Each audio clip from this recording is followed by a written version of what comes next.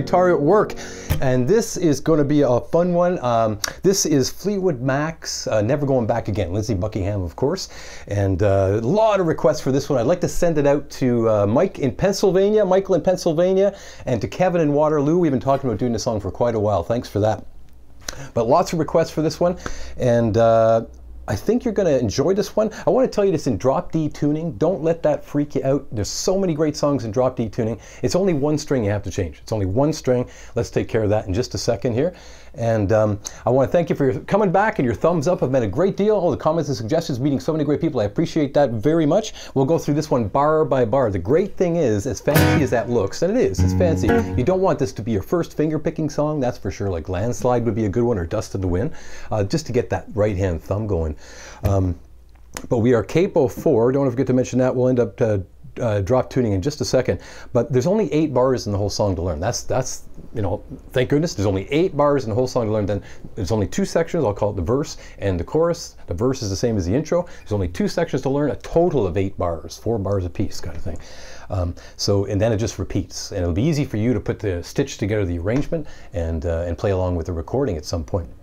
So let me talk about this. And first of all, I want to send you to patreon.com slash guitar at work. I sometimes forget to mention it. I got it all on one page here. It's handwritten in a, a transcription. Patreon.com slash guitar at work. I will be referring to this uh, all through the video, and it's going to help you follow along for sure. I've got it up here in my trusty iPad. So um, I think I'll be putting up the bar numbers on the screen to help you out. You're going to go end up going bar by bar and then stitching it all together. So go grab that for patreon.com slash guitar at work. And for those of you who have already been there, and that are supporting this channel. I really, really appreciate it. You're helping to keep the lights on here, so thank you for that. I'm going to pop my capo off here for a second, and I'm going to go back to standard tuning. There, I'm back in standard tuning. It's that easy. Now, drop D tuning. Uh, if you haven't done it before, if you have, bear with me, but I'm going to play my D string here. The open D, it's your third thickest, D. Now my low E, I'm going to bring it down until it matches. Now they're an octave apart. This is a higher D than this guy, of course. There you go. That's pretty darn close. And I'm going to, you can use a tuner for this as well. The tuner's going to say D. And I'm going to give it a little, little tug like that because it wants to creep back up a little bit. I'm to pop the capo on four, capo four.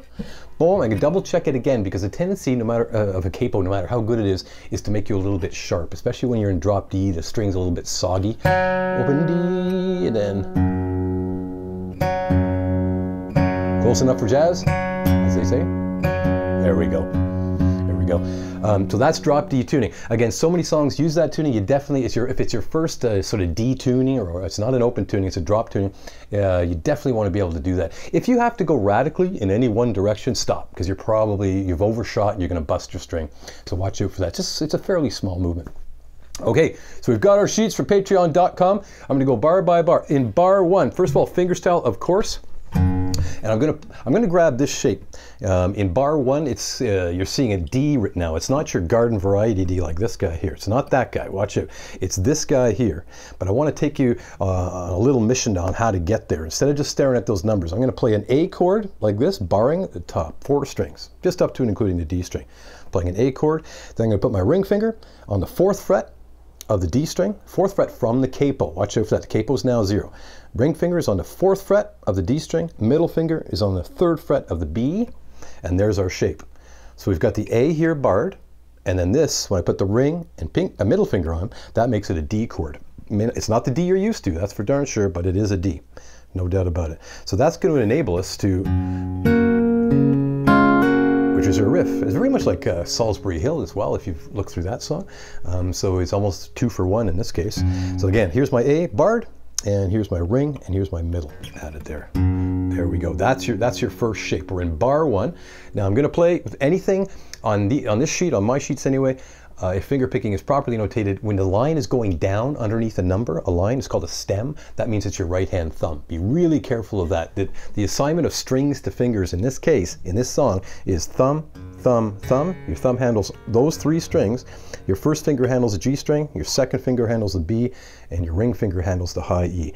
That is so important to have a system like that. Then when you go from one song to the next, it's not just willy-nilly, whatever finger works. You just say, oh, it's this, okay. Your fingers are trained uh, to stick with their respective strings. So really, really important. Uh, I am on that shape again. Here's bar one. I'm going to play the low E string. Boom, like that. And I'm going to play thumb first and second. And that's that cluster you're seeing, the four, two, three. Sorry if that's difficult to make out. You got low E, which is now a D. I'll call it the low E. And then your cluster. There you go. Then the A string. There we go. We've got the first three attacks. We call them. Do that again. And then the cluster and A. Notice your thumb has played three different strings. Here it is again. Cluster. there we go. And now this business here is a hammer-on. You'll see a little H written over top as well as those slur markers. I'm going to take the ring and middle off. Take those two guys off. I'm left with just that A portion. And I'm going to play those two strings with the right hand and hammer them back on. Just like that. Here we go. Now, if yours are not as loud as you want them to be, your hammers, if they're a little bit uh, quiet, a little bit sheepish sounding, just keep at it. You have to be pretty sure-footed. There you go. Get them a good. It's hard to get them to land at exactly the same time, but that's just a little bit of practice and away you go. I'm going to go from the very top. Here's bar one. Off we go. I'm going to play that low E again. Here it is again, top.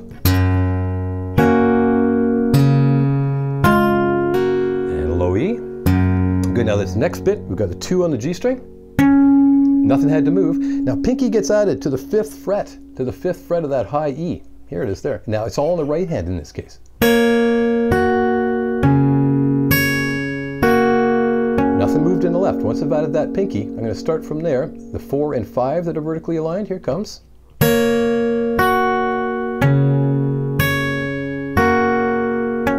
That's it. Now you may have to stop tape right there. Just get that first bar because um, that particular system, that technique is going to recur throughout the song. So it'd be a good idea to stop on bar one, get bar one, and then go into bar two, etc. It's going to get easier and easier as you go. Here is bar one, very slowly round around bar one, three, four. Hammer.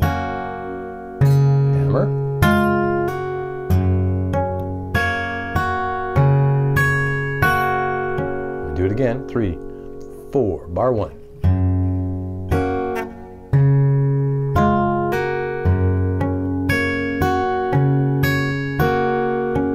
It's all in the right hand there. Okay, bar two, um, we, we, we, we have that on. I'm to take my pinky off of there and I'm going to pull off. That's it. So we start with the D shape, that fancy D shape, and cluster pluck here, and then ring in middle, pull off. Again, top, bar two. There you go. And to get a good pull off, you may have to pull it down toward the floor. If they're not as loud as you want, give it a little bit of a snap down toward the floor. It's almost like a fake pick stroke there. Here it is again. Bar two. A string. There we go. And now for the five and five, you see vertically aligned. Here's a big stretch. I'm going to get rid of the first finger and I'm going to go uh, ring and pinky. Fifth fret of the D and fifth fret of the B with the ring and pinky. So I've abandoned that shape. Uh, it's a tricky, it's, it's harder if you keep them on there because it's a heck of a stretch. And it's those two notes at the same time. Okay, so here's the beginning of bar two.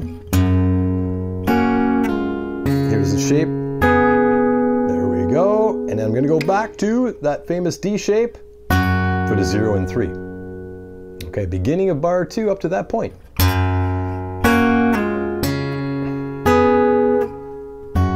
we go. I'm going to add that pinky. Very much like the back end of bar one there. So here is bar two again, top three, four.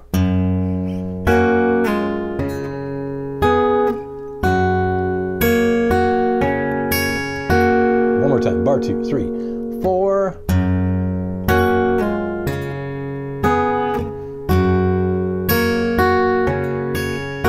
Hey, good. So again, stop tape, that's bars one and two. That could take a little while. Don't expect to do it in a real time. Um, hopefully you're reading that just fine. Here's bars one and two back to back, very slowly. Three, four.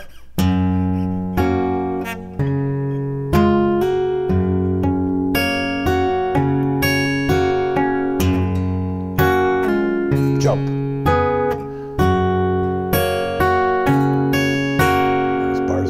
Two. Good stuff. Into bar three. Uh, this this shape I'm calling an A13. No third. It doesn't matter. Just call it A13 is fine. Um, big stretch. Uh, ring and pinky go back to where they were there. Uh, ring finger on the fifth fret of the D and pinky on the fifth fret of the B. And now I have to bar, the, I'm going to bar the top three strings or four strings on the, on the uh, second fret. There we go. So look at that stretch you get. Now, if you have trouble with that stretch, if your thumb is up like this, you're doomed. You're doomed. Your pinky is rendered inoperable. He just won't do anything for you. So it's important. I'm going to duck my left shoulder and get that get that wrist out, come in from underneath. That's so important. I'm coming in from underneath. That's huge. Even with the length of my fingers, uh, which are pretty long, um, I would have trouble getting that stretch without without ducking like that. And there's your shape. There you go. Now, once you have that shape, once you have that shape, it's all in the right hand. Nothing has to move in the left. So I'm going to grab that shape, and here's my right hand bar three.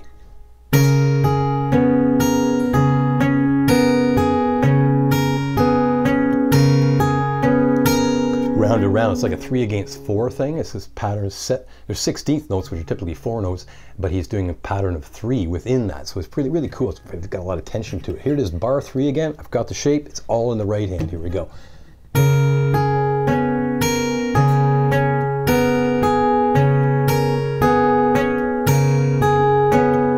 It was all bar number three. So stop tape there, grab that. And here's bars one, two, and three back to back. Three, four,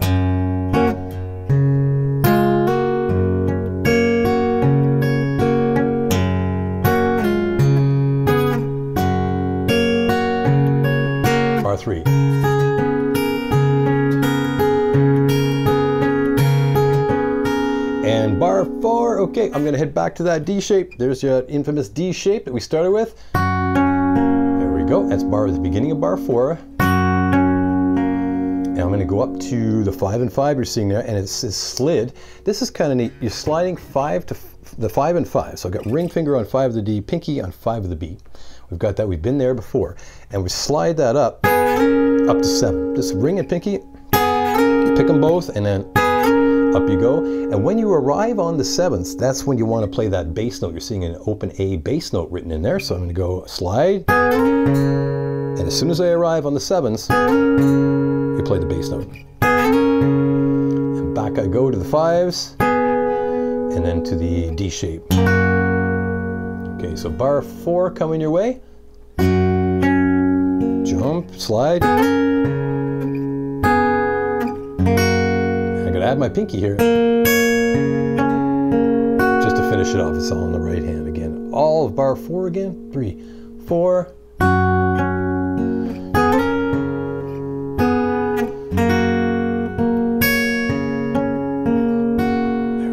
hey, that's four bars. That's your verse. It's your intro verse. It goes round and round and round. And then all we have now is the chorus. So take your time. That's four bars. You probably have to stop tape there and make some sense of that. Again, grab those sheet, uh, grab this sheet from patreon.com slash guitarwork. That's what I'm referring to. Um, I think you'll find you get through it a whole lot easier that way. Bars one to four, just before we launch into the chorus. Here's bar one, three, four, and uh,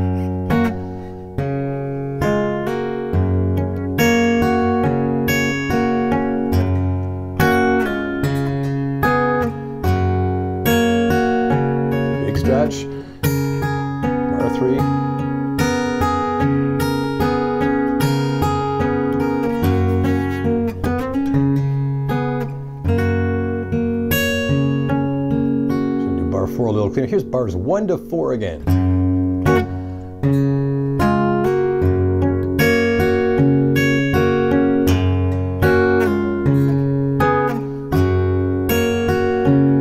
Stretch, bar three.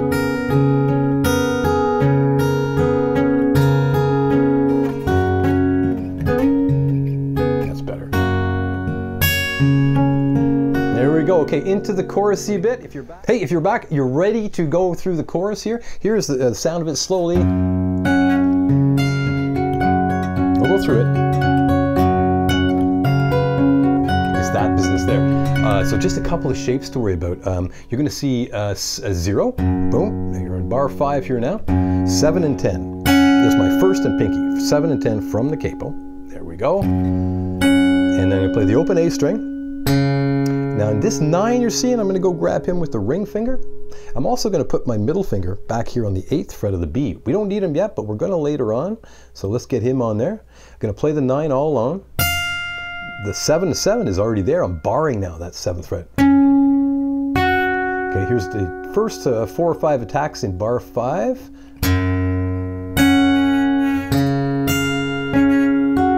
Okay, there we go. Let's do it again. Bar 5.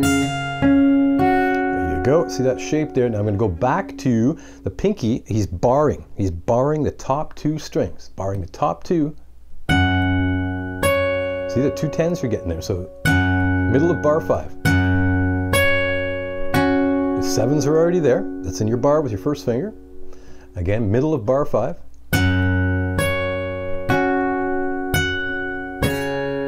It's all on the right hand at that point. Okay, here's bar five. I know that's a lot right there. Um, you just get the one shape and it flips. So here's bar five again, slowly. I'm starting out, and notice uh, I, I, start out with the bar in this guy here. So you're starting out zero, seven, and 10, and he's barred. The top two strings are barred because we need him later. Just get used to it that way. Nine, there it is. We're barring with the first finger to pick up those sevens. Again. Bar 5 without stopping.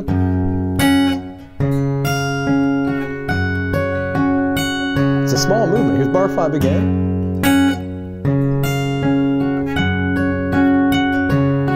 That goes a long way now.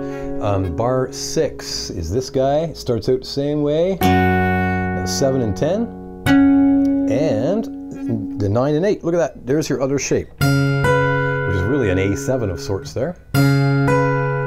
First finger is state. He's barring the D and G strings there. So bar six coming your way. I'm going to go back to that pinky bar on what would be the 10th fret from the capo. Okay, so again, it's really just flipped from this shape to this. That's really, that's what's going on. It's two shapes, two shapes. So here's bars five and six, back to back. Take a break if you need it. This is getting heavy. Here we go, bars five and six.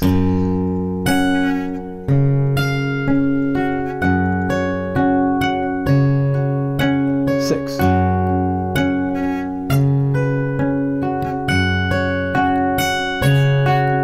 do that again. Here's bars five and six, three, four, and up.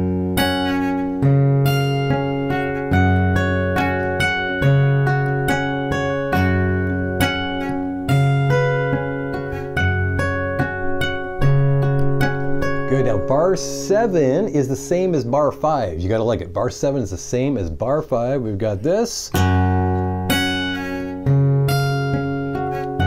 that pinky. Okay, bar 7 coming.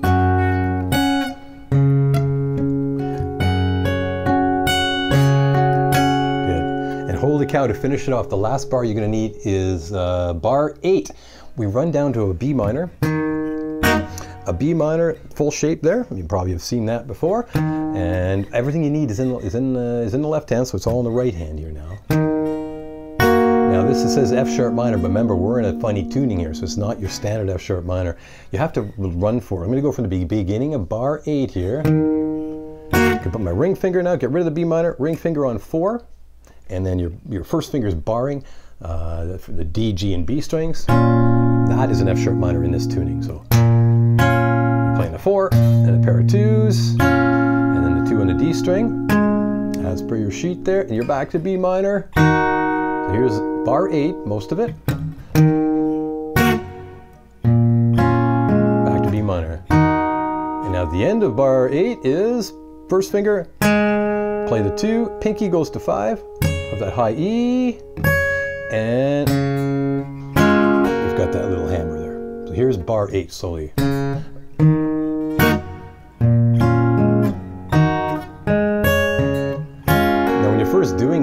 It'll feel kind of disjunct. It is funky for, for sure. I remember first learning them again. What on earth? Uh, okay, to, once you get a little bit of speed, which is common in fingerpicking, that it you're wondering where the song is until you get a little bit of speed, a little bit of flow. That's totally reasonable. Um, so eight bars there. Let me play the bars five, six, seven, and eight. Your chorus section. So here it is. We're way up high. Three bars. Five, three, four.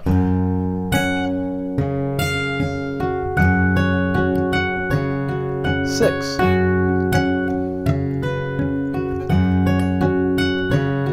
Seven.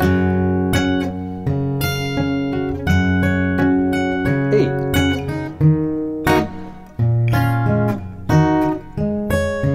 And you're right back up to bar one. Okay, so let's give it some context. I'm gonna play slowly, slowly through it. Bar one.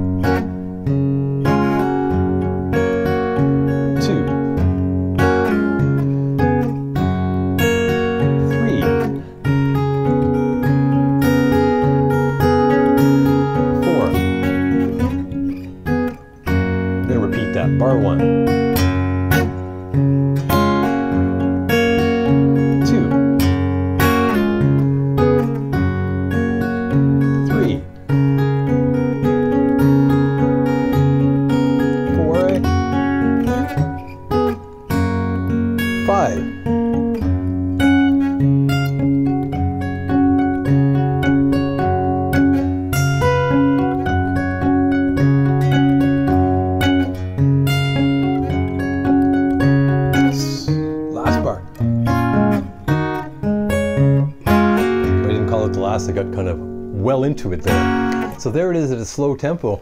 Um, again, you don't want this to be your first finger picking piece uh, because there are, you know, there's some quirky things in it for sure, which makes it such a magnetic sounding riff. It's such a great song. Um, again, you have two sections there. Now it's up to us to go in there, go into the, this is based on the original recording, and just go in and say, how many times has he played, you know, the, the first section, the, what I'm calling the verse, intro slash verse. Uh, he does that how many times? And then he goes into the chorus. You're clearly you're going to hear it go way up high. So just, hey, make a note. It's good for you to have to go in and do that. There's only two sections through the whole thing, so it repeats film. Um, so that was one of our trickier ones for sure. But I want to thank you for coming back. All your thumbs up. I'll encourage you again to go to patreon.com slash guitar work. Grab this sheet. It will help you. Uh, ask me questions down in the comments. Always happy to answer them. And it's great to meet all the people. Thank you again, uh, Mike in Pennsylvania and Kevin in Waterloo. A great, great song, a great request. And uh, sorry it took this long to get through it. Uh, but I've had it on the uh, on the calendar for months to do this song. So thanks for coming back. Your thumbs up have meant the world, and I look forward to meeting you down in the comments. Have fun with this one. Let me know how you're doing. Okay. Cheers. Bye bye. Three. Power and out.